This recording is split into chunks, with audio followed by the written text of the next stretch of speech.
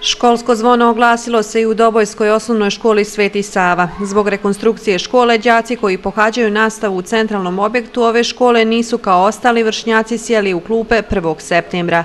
Raspus je trajao duže 20 dana, te su, kažu roditelji, djeca sa nestrpljenjem čekala početak nove školske godine.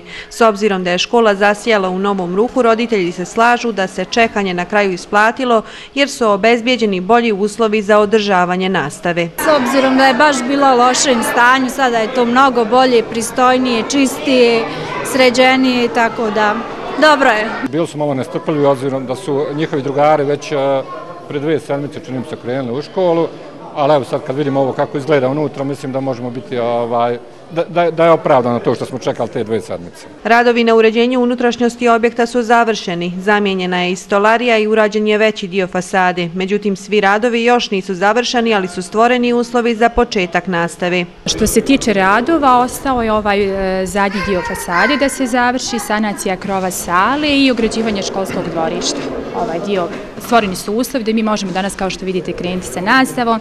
Zaista smo srećni jer smo u renoviran, ovako sređen, estetski, lijep uređen objekat danas mogli da primimo 51. generaciju prvačića. Stekli su se uslovi da nastava se može početi odvijati u saglasnost ministarstva, iako postoji jedan izvjesna doza opreza koja se mora provoditi da džaci ne bi prolazili na ovaj dio gdje se još uvijek radovi izvode.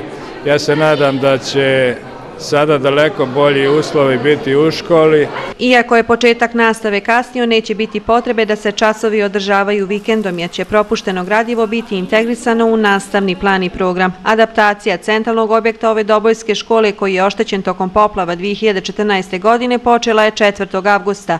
Sredstva za rekonstrukciju škole u iznosu od 700.000 maraka obezbijedili su Američka ambasada u BiH i grad Doboj.